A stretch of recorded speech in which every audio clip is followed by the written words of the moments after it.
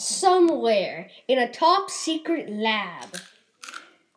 Hey, what if we did these nuclear acid? Why? Why would we do that? Because it's funny.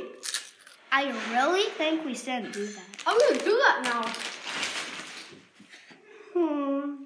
87 and a half days later. Like these fresh, never opened, um, not, um, definitely not dunked in nu- nuclear acid potato chips. Sure. Nice. Ah, time to have these fresh, never opened before potato chips. It says they have extra flavoring.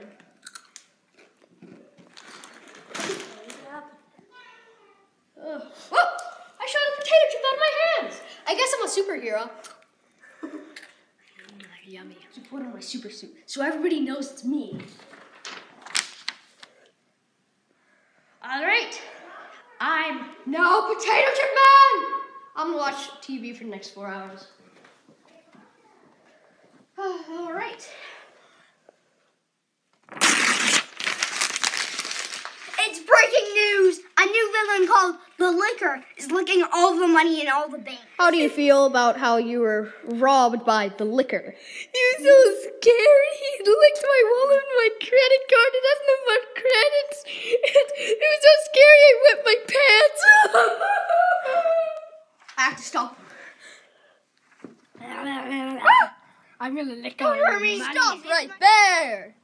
Ah, wait, who are you? Read the sign, man. Well, anyway, I'm gonna stop you now. All right. Yeah. Mmm, yummy. Ah. Four hours later. All right. Time to turn it over to the police. All right, I'm taking you to Sam, City boy. Yeah, all right. Yo, the chunky Toes, the end of the movie, yos.